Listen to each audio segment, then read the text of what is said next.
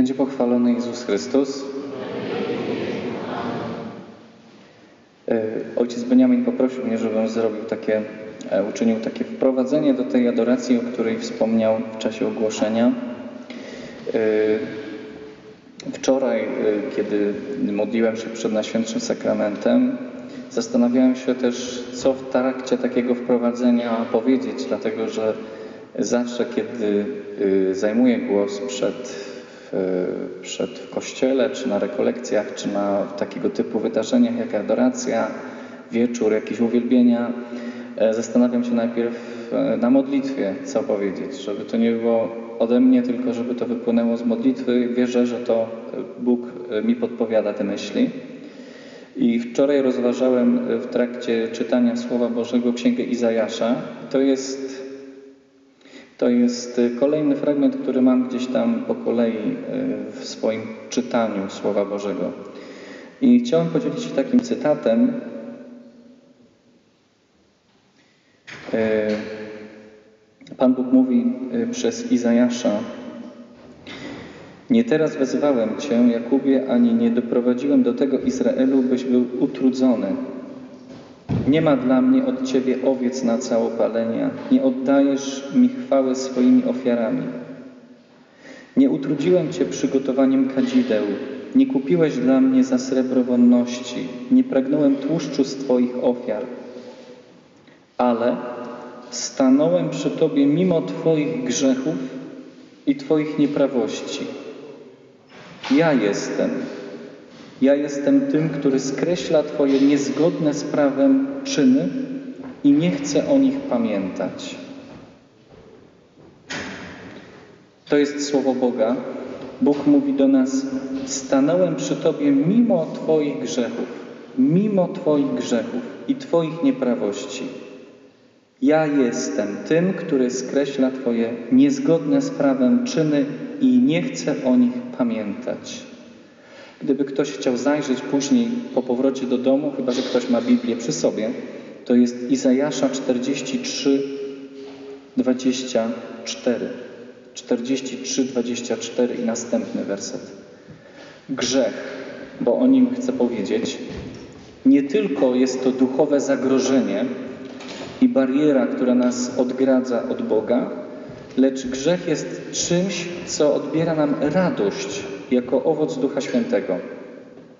Święty Franciszek, e, dzisiaj było nabożeństwo do świętego Franciszka, a Franciszek, e, trzeci zakon, osoby ze wspólnoty trzeciego zakonu tym bardziej znają historię świętego Franciszka, ale mówię do wszystkich.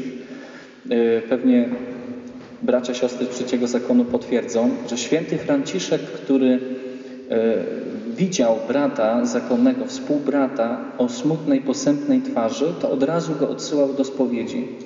Proponował mu spowiedź. Mówił, że y, kto jest smutny, ten powinien pójść do spowiedzi. Oczywiście święty Franciszek y, mógł mieć jakieś czytanie w sercach. Tak? Jako osoba święta, charyzmatyk mógł czuć, mógł doświadczać tego, że ktoś ma grzech i nawet może wiedział o co chodzi, ale śmiem twierdzić, że świętemu Franciszkowi chodziło o to, że to jest grzech nam odbiera radość. I mam takie osobiste y, doświadczenie, że w momencie takiej duchowej niemocy, kiedy my jeździmy, głosimy Słowo Boże, kiedy y, śpiewamy, gramy Bogu i tym chcemy też służyć ludziom, to w niektórych momentach, kiedy jesteśmy na misjach, na rekolekcjach, przychodzi taka duchowa niemoc. To nie jest, y, to nie jest y, reguła, że to musi nastąpić zawsze, ale często jest tak, że blokuje nas, że nie możemy ani słowa wykrztusić z siebie. Jest jakaś taka handra, taka duchowa niemoc, że, że nie jesteśmy w stanie. Yy, oczywiście przechodzimy ponad tym, ale też to są momenty ogromnych pokus, dlatego że siejemy ziarno, siejemy dobro, chcemy Boga uwielbiać, a zły duch nas atakuje jako osoby ewangelizujące, ale myślę, że jako, jako mm, moi kochani, jak, jako wy w swoich rodzinach też doświadczacie tego, że im więcej dobra się dzieje, tym więcej nas atakuje pokusa, popadamy w y, nasze słabości, nałogi, grzechy i tak. I w obliczu tych pokus na przykład mi nie chce się śpiewać, nie? Mam coś takiego, że kiedy przychodzi takie duchowe, duchowa niemoc, taka oczywiście od złego, to ja nie chcę mi się śpiewać, nie chce mi się wznosić uwielbienia do Boga. Ja wtedy wiem, to jest taka lampka, zapala mi się lampka, że o, coś jest nie tak. Trzeba zmienić kierunek. Trzeba zwrócić się do Boga, swoje myśli i więcej czasu spędzić wtedy na modlitwie. Więcej czasu spędzić na modlitwie. Te rzeczy, które tutaj są wypisane na ambonie, modlitwa, post i jałmużna, myślę, że w tej kolejności, to tak naprawdę tutaj jest klucz do tego, że to nie tylko na Wielki Post. Oczywiście, ale y, te rzeczy pomagają nam, te dobre uczynki, które znamy z katechezy, właśnie w przezwyciężaniu też pokus. I to jest mądrość Kościoła, że te rzeczy są nam wypisane tutaj. Y, ojcowie tutaj pięknie umieścili to przed amboną. Te rzeczy nam pomagają całe życie, nie tylko w Wielkim Poście, żeby skupić się na Bogu i uniknąć grzechu. Modlitwa, post i jałmużna. I o tym czytamy w Ewangelii na Środę Popielcową, kiedy Jezus y, zmienia trochę kolejność i mówi y, troszeczkę inaczej. Najpierw zaczyna od jałmużny, chyba, jeżeli nie, nie, nie chcę się już teraz pomylić, ale tak nam się przyjęło, że modlitwa, post i jałmużna. Grzech, który Bóg nie chce pamiętać. O tym chciałbym jeszcze powiedzieć, bo tutaj właśnie Bóg mówi, że nie chce o tym pamiętać. I są takie, Pan Bóg wiadomo jest wszechmogący, może wszystko uczynić w jednej sekundzie, ale są takie trzy rzeczy, które Pana Boga, mówiąc tak y, krótko i może to szykująco zabrzmi, są takie trzy rzeczy, które Boga ograniczają, których Bóg nie może nic zrobić. Pierwsza taka rzecz to jest to, że mm, Bóg nie jest w stanie przestać nas kochać. Bóg nie jest w stanie przestać nas kochać. On nie umie tego zrobić. E, druga rzecz to jest ograniczenie Boże, nasza wolna wola. Jeżeli my blokujemy, to w ten sposób blokujemy Bo, Bo, e, Panu Bogu, związujemy ręce, można powiedzieć. Jeżeli my się sprzeciwiamy temu, co On chce nam dać, a między innymi to, co nam dał, najważniejsze to jest zbawienie wysłużone na krzyżu yy, przez Jezusa Chrystusa. I trzecia rzecz to jest Boża słabość, pamięć, gdy chodzi o nasze grzechy. Że w momencie, kiedy my pozbywamy się grzechu, a to się dokonuje najpełniej w spowiedzi, to wtedy Bóg mówi: Ja już nie pamiętam. I to jest to, co tu czytałem przed chwilą w słowie: Skreślam Twoje czyny niezgodne z prawem i nie chcę o nich pamiętać.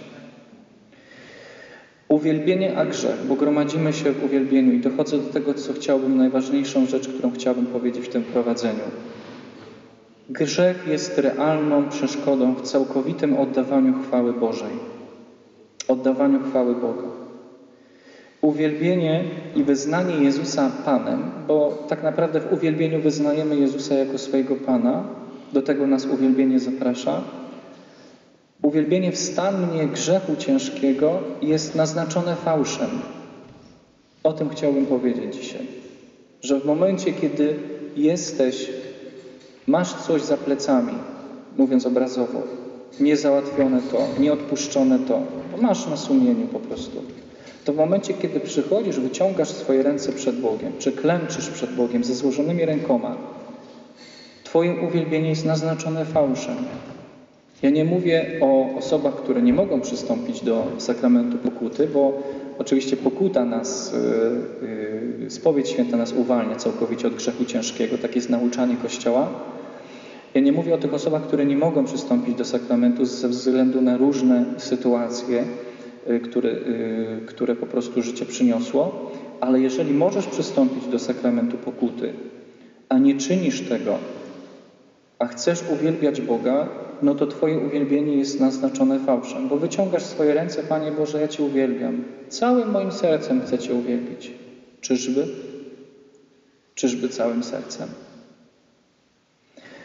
Oczywiście grzechy lekkie Bóg kładzie nam czy na początku mszy, czy w ogóle w akcie żalu, takim w czasie naszej modlitwy. To jest, to jest zrozumiałe.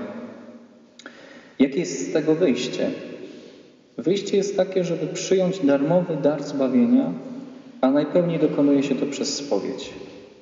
My często y, jesteśmy przywoływani do tego, żeby pójść do spowiedzi. Kapłani często nawet mówią, żeby pójść do spowiedzi świętej nawet na początku Wielkiego Postu, bo później będą kolejki. I słusznie, nawet z punktu widzenia technicznego, żeby ta spowiedź była taka spokojna, żebyś Ty mogła czy mógł wejść w tę spowiedź tak w pełni, całym sercem, żeby to było na spokojnie. Ale najważniejsze w tym jest to, żebyśmy przyjmowali Boże przebaczenie. I przyjmowanie Bożego przebaczenia, które się dokonuje dla nas, dla nas katolików w sakramencie pokuty i pojednania najpełniej, jest już formą uwielbienia Boga. Bo to, że my y, skupiamy się na uwielbieniu raz w miesiącu, tutaj w tym kościele, czy w innym kościele, czy tak naprawdę każda Eucharystia jest uwielbieniem, tak? To jedną z form uwielbienia Boga jest to, że my do Niego przychodzimy, ponieważ najkrócej mówiąc, zbliżenie się do Boga i Jego miłosiernej miłości już jest znakiem dla Pana Boga, że my Go uwielbiamy. Więc y, podsumowując te myśli, które teraz rzuciłem, myślę, że to jest też takie ziarno, które nas umocni do, do tej adoracji. Bo jest Wielki Post, dlatego podjąłem też ten temat i wierzę w to mocno, że Pan Bóg mi to objawił, żeby to dzisiaj powiedzieć o tym grzechu. Bóg nas kocha. Z miłości do nas zesłał swojego Syna, który podnosi nas z każdego grzechu. Jakie jest z tego wyjście? Przyjęcie darmowego daru zbawienia, który Jezus wysłużył dla nas na krzyżu przez swoją mękę, śmierć i zmartwychwstanie. Kolejnym krokiem w tym jest wyznanie Jezusa jako Pana, a to się też objawia w naszych adoracjach, w naszych uwielbieniach. I prośba do Boga, żeby nam udzielił swojego ducha, bo najpełniej można wzrastać w Duchu Świętym, w modlitwie do Ducha Świętego, w rozważaniu Słowa Bożego i w trwaniu we wspólnocie. I w tym momencie, w tych kilku zdaniach wymieniłem, y, powiedziałem cały kerygmat, czyli wszystkie punkty najważniejsze naszej wiary. Miłość, grzech, zbawienie, Jezus jest Panem, Duch Święty i wspólnota. My tutaj przez te adoracje, chcąc czy nie chcąc, tak jechałem do Was, to sobie tak pomyślałem, że tak naprawdę to my tworzymy już wspólnotę. Dlatego, że y, jest formacja, staramy się tutaj z Ojcem też słowo głosić w tym momencie, jest modlitwa wspólna i są ludzie, którzy stale przychodzą na te adoracje. To jest bardzo piękne. Myślę, że z biegiem czasu y, będzie to Y, Boży, Boży palec w tym też, że, że rzeczywiście uformuje się jakaś wspólnota, która będzie chciała Boga uwielbiać. Póki co też widzę, że, że też są członkowie różnych innych wspólnot przy klasztorze i to bardzo pięknie, dlatego że wy y, czerpiecie z, z takiego wielkiego bogactwa, które ma Kościół, że chętnie odmówimy różaniec, chętnie zaśpiewamy gorzkie żale, ale też chętnie ktoś może odnaleźć swoją perłę i powiedzieć, że taka forma uwielbienia jest moją perłą. Ja lubię tak Boga uwielbiać. Chcę przychodzić na te spotkania z Panem Jezusem w taki sposób. Tym bardziej, że On przychodzi do nas, Ojciec Beniamin go nam podaje bardzo blisko. I to jest niecodzienne. Zapraszam Was dzisiaj do tego, żeby ta adoracja była przede wszystkim takim, nie wiem jak nas Duch Święty poprowadzi, Wiem tylko jedno, że jeżeli Bogu powiesz, chcę Ci oddać swój grzech i chcę przyjąć Twoje zbawienie, to Bóg tego dokona. Nawet jeżeli nic nie będziesz czuł czy czuła, bo wiara to nie jest to, co my czujemy. Wiara to jest decyzja. A więc zdecyduj się dzisiaj, zapraszam Cię do tego, mówię to też pod swoim adresem, zdecyduj się na odrzucenie grzechu, nawet takiego, który jeżeli masz jakiś nauk, jakąś, jakąś sprawę, z którą walczysz i ciągle upadasz w ten sam grzech, powiedz dzisiaj Jezusowi w tym wielkim poście, Boże, Jezu, chcę Ci Tobie to oddać, decyduję się na oddanie tego, a w zamian chcę od Ciebie przyjąć zbawienie. I chcę Cię ogłosić moim Panem, chcę przyjąć Twego Ducha i chcę trwać we wspólnocie.